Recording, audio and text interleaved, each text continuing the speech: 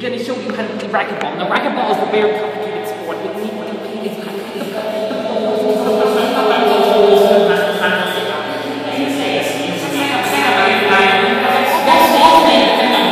Understand good. Now watch how pro this is.